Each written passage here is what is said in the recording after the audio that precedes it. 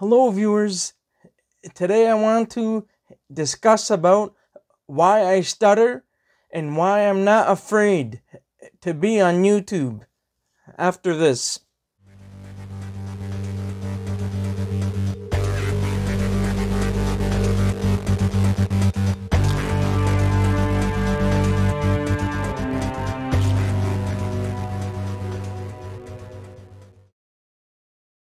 Welcome back to the Moose Mobile Auto Repair channel. And so today I uh, wanted to discuss about this issue as to why I stutter and why I'm not afraid to be on YouTube. And now this topic comes about that the that I've started to get some uh, nasty comments on my YouTube channel and so the issue here is the uh, the amount of ignorance and arrogance that these people have. Now, uh, I'm getting older and older as I go along on my on my walks of life, and so it it, it doesn't really bother me anymore. But it's a it's an open topic that I wanted to discuss about. So the issue here is that the there's a bunch of people. it seems like that the a lot of people out there are are not aware uh, of stuttering, and so um, these people uh, they need an education. They need an education, and they need to be put uh, into the real world uh, of things. And so uh, I just wanted to bring this topic up because I've been getting a lot of nasty comments in the last uh, probably few months or so. So uh, it's it, it doesn't affect me uh, in any way. I'm not really bothered about it, but it's just a topic that I've decided to uh, to talk about. Now the issue is uh, you shouldn't make fun of people for their shortcomings because it's a it's a God given God given thing, and so uh, you you shouldn't make fun of people who have a, a disability or on whatever their their defect is. It, it's part of them. It's not something uh, to poke at and to make fun of people because it's not a, it's not right. It's not a nice thing to do. And so, uh, pretty much all my life, uh, I've had a lot of people. They used to bully me, to mock me because of of my of, of my speech impediment. And I also I wear hearing aids. I pretty much uh, I have stuttered pretty much all my life, and I've been hearing impaired almost all my life. And so uh, I was gonna say that I didn't really introduce myself in the beginning. Um, my name is Mustafa, and I've stuttered all my life, and I've I've worn hearing aids since around grade four, grade five. I was about ten years old, and I remember back in grade four, I used to sit in in front of the classroom so I could be able to hear the teacher. And so uh, at the end of, of, of the lesson, I wouldn't know on what to do. So I would ask some people in my class or friends and ask them on on what I'm supposed to do. And they used to tell me that that oh uh, you need to listen, you, you need to listen and uh, and pay attention. But I, I was like, how can I listen if I can't hear, right? I was hearing impaired. I'm not sure as to the reason, as to uh, on how it happened, how I had a hearing impairment. It could have been from repeated ear infections over time, but I'm really not sure. Uh, I don't know if if I was born with it, so it's really hard to say. So ever since then, I've I've worn hearing aids, and it, it's similar to glasses, right? It's it's it's very similar to glasses. Uh, when you wear glasses, your eyesight gets worse with time, and then eventually your eyesight stabilizes at a certain age. And it's the same with hearing. After a certain amount of time, your hearing stabilizes after some time. When you wear the hearing aids, your hearing is supposed to get slightly worse with time, and then it will generally stabilize. Now, sometimes it, it could be genes related in the family. Uh, just recently, uh, my younger brother, he just started to wear hearing aids, but he doesn't wear them all the time. Just like like on special uh, occasions or when he really needs them. Uh, other than that, he, he doesn't wear them all the time, and uh, and also uh, my dad he also had trouble hearing people sometimes, but uh, he he has passed away unfortunately uh, a few years ago. May God rest his soul. My dad usually he, he used to hear relatively okay, but there would be some circumstances he couldn't hear people all that well. But uh, the his hearing was not uh, below normal. It was uh, pretty much uh, at the normal level on the line if you look at the audiogram. And so, uh, for people who, who, who don't know much about hearing impairment or stuttering, you will need to to study a, a, a little bit on uh, on the uh, on the disability or the or the defect. And so, anyhow, uh, I've grown up with this issue all my life. Used to be bullied and, and picked on in uh, elementary school, in middle school, in high school. And after high school, that's it. Everything stops for the most part. Every once in a while, you'll get people, people they make fun of me if if I stutter. Uh, they uh, they do weird faces and the, and they look away. They do this. They look in the sky every time I stutter. It's kind of annoying, but uh, I sort of I've gotten used to it. But these things I I don't really care about. It's just something I wanted to discuss with you. Now, over the years, I've had a speech therapist come to me uh, uh, in school when I was in uh, in elementary school, in in middle school, in high school. I've had several speech therapists come to me, but uh, they did not work. Then eventually, just around late high school, college, maybe 2004, 2005, uh, m- my stuttering got a lot worse. And so around 2006, I visited a doctor in the Toronto area in Canada, uh, Ontario, Toronto. Uh, there is a speech therapist. His name is Robert Kroll, and unfortunately, he passed away a, few years ago. And may God uh, rest his soul. So, anyhow, I have an updated book for the, the speech therapist that I went to in 2006. It's called the, the Fluency Plus program. So, it's basically. Uh, talks in detail about about speech and, and stuff like that talks about in great detail. I'm not going to discuss about it in this video but talks about different classes of sounds. Class one two three four uh, plosives and fricative sounds and stuff like that. This program I, I went to a weekly program. It was a non-intensive program. So it would be for one week, and I went uh, on Wednesdays for 28 weeks.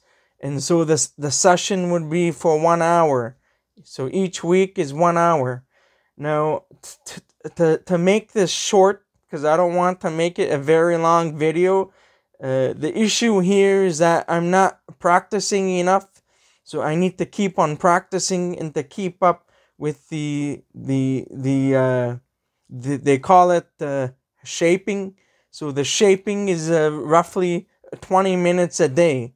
So it's it's similar to like when you go and exercise exercise at the gym so you can maintain your weight to lose weight.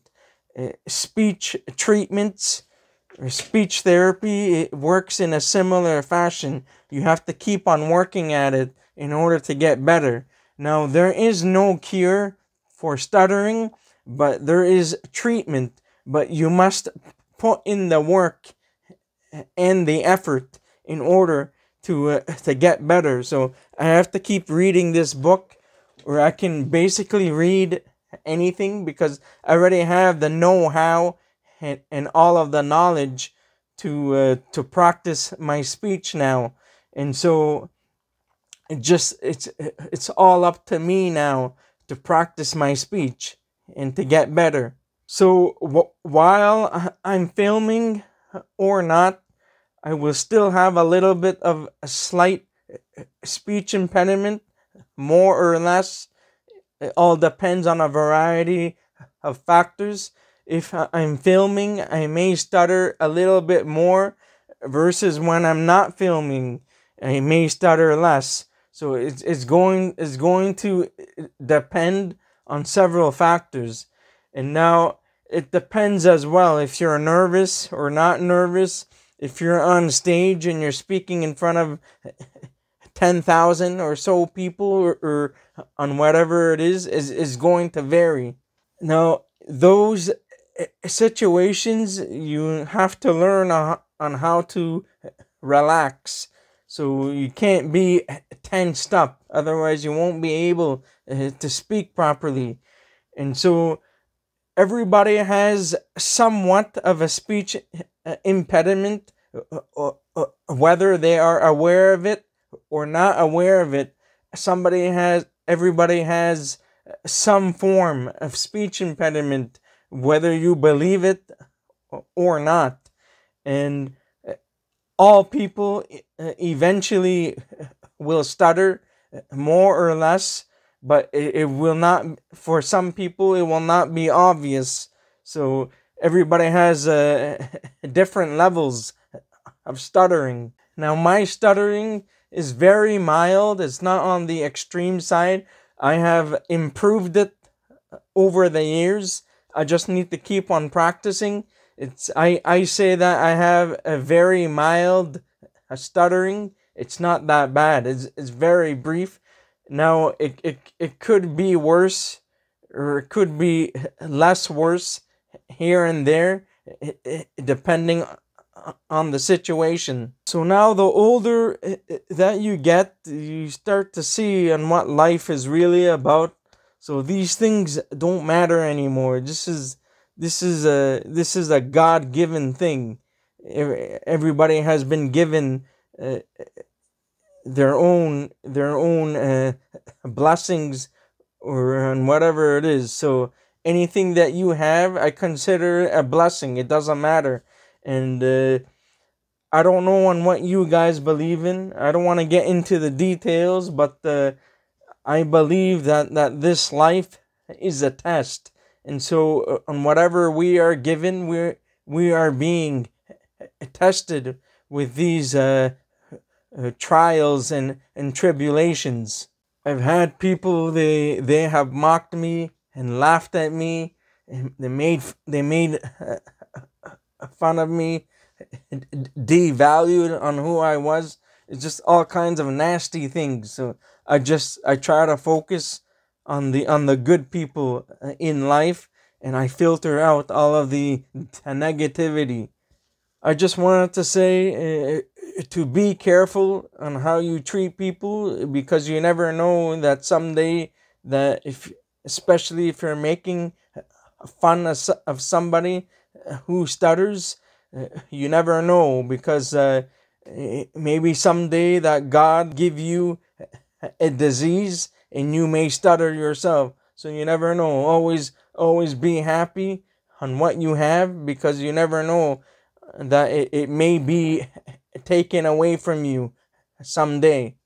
I'm not trying to be a pessimist, but it's something I wanted to bring out uh, to you guys to make sure that you enjoy every moment of life, uh, treat others with uh, honesty and kindness and don't treat people badly because you never know if you treat uh, people the wrong way you you could lose you could lose everything in just a, a, a blink of an eye now things are a little bit slow for the month of uh, February. Usually January, February, and March are the slowest uh, time of the year, and also the tax season is coming up soon.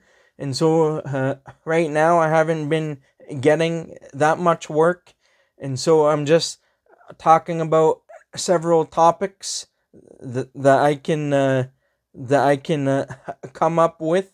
And so, in case if you guys have any topics that you want me to discuss about, just put it in the comments below, and uh, and and I'll see if I can discuss about them in my future videos. So over the years, I have met several people who also have a stuttering issue or a speech impediment. And so uh, I've just learned a few things from those people because they're pretty much in the same boat as I am. Uh, it really, to be honest, uh, we're pretty much everybody here on this earth, we're pretty much on the same boat. So really, we're all humans. We're all the same people. So I just don't understand what's what's what's up with these people with the uh, poking around and and, and being nasty it just it, it's just no good i also wanted to mention that the, the reason why i started my youtube channel is because i really wanted to teach people about the automotive industry and how to do the the car repairs or vehicle repairs and so, because a lot of people that I come across in my day to day life, they're not really interested in, in automotive. So I told myself, hey, I'll probably, I'll probably uh, start teaching on my own time and, and make some videos and post it on YouTube. So I just I started doing that just to see on uh, on on where I go and so far uh, things haven't been too bad. It's uh, it's taking off a little bit slowly. So I really started to enjoy doing the video editing and talking about cars and fixing cars. So it's I don't just do it uh, just for the money. It, it is a little bit uh, helps a little bit with the stream of uh, income, and so uh, I really enjoy editing the videos and making videos for you guys and for myself as well. It's really good, and also it uh, it's also is is good for me because if there is something that I can't remember or recall, I just go back to one of my videos and I check it out, and then I say, hey, there's information there. I can just follow on on what I did. There's also some technical information that I may not uh, uh, uh, recall anymore. And so um, when I go to my videos, I can review it as needed and I'll be able to get the information there. My main and whole objective of this YouTube channel is for me to teach you guys on what I know and based on my experience of what I have seen in the automotive industry. And so, whatever I have experienced, I just wanted to, to share it with you guys. And the stuff that I share, I always give you a lot of, uh, of tips and tricks because I know I've been into the, the same issue. I've had the same issue in the past. And so, I, I don't want you guys to fall uh, into the same problem or to make the same mistake that I did. And so now I'm showing you on how to correct that mistake when I make these uh, YouTube videos for specific uh, car repairs. So for the next uh, little while, I'll be doing some videos inside the house, just talking about the popular uh, topics and some topics, some topics that are uh, like are misconceptions and stuff like that. So I'm just trying to figure on what topics to uh, discuss about and to share it with you guys. That's it for today.